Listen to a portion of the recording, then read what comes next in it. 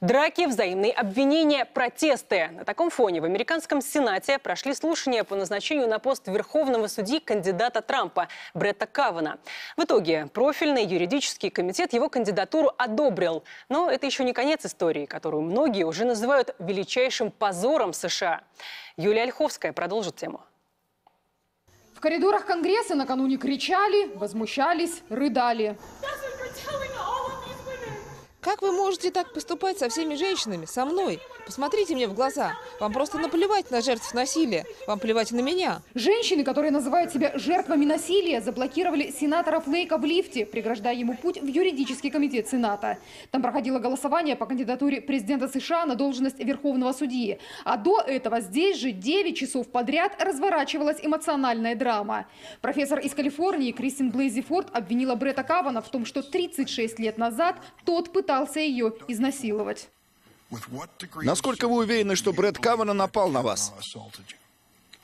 На сто процентов. Блейзи Форд периодически всхлипывала, заметно нервничала. Ее обвинения невозможно ни опровергнуть, ни подтвердить. Упомянутые ею свидетели в письменных заявлениях отметили, что ничего не помнят. Да и сама женщина не смогла назвать ни место, ни хотя бы месяц предполагаемого насилия. Брэд Кавана настаивает, вся история – выдумка. По его словам, Кристин Блейзи Форд, он не только не приставал, вообще никогда не встречался с этой женщиной в одном помещении.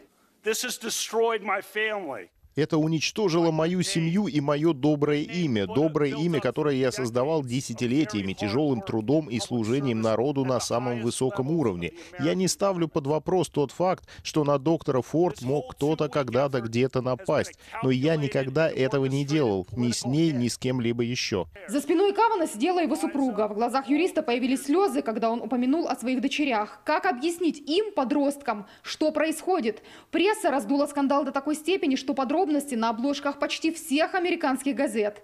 Кто прав и кто виноват? И чего здесь больше, криминала или политики? Демократы критикуют Трампа, республиканцы – демократов. Вам нужен честный процесс? Здесь вы его не найдете. Это не собеседование при устройстве на работу. Это ад. Из-за подобной дребедени хорошие люди не смогут выдвинуться. Еще недавно сенатор Грэм грозил России санкциями, а теперь и его самого заподозрили в связях с Москвой, дескать, слишком яростно защищает кандидата Трампа. Драма, по сути, закончилась ничем. Истина не установлена. И юрист, и профессор были одинаково убедительны. Пока в Сенате шло заседание, рядом с Конгрессом собрались протестующие. Они требовали остановить голосование и привлечь к делу ФБР. Юридический комитет рекомендовал все же утвердить Кавана в должности, но под нажимом общественного мнения итоговое голосование отложено. ФБР все же начнет расследование. Дональд Трамп прокомментировал ситуацию коротко. Я за то, что лучше для страны. Думали ли вы о замене кандидатуры Кавана? Нет, это ни к чему. Ни у кого в Вашингтоне не вызывает сомнения политическая подоплека скандала. Впереди выборы в Конгресс. Нью-Йорк Таймс цитирует бывшего советника Хиллари Клинтон. Чтобы вырвать Верховный суд из когтей Трампа, необходимо предпринять два непростых шага. Во-первых, заблокировать кандидатуру Кавана. Во-вторых, сражаться насмерть, чтобы вернуть контроль над Сенатом.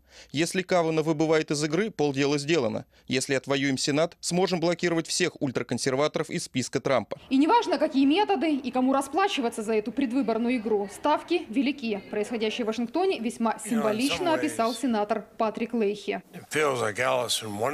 Я чувствую себя как Алиса в «Стране чудес». Во все это сложно поверить. Это какой-то сюрреализм. Юлия Ольховская, Александр Титрашвили и Наталья Лобанова. Первый канал, Вашингтон.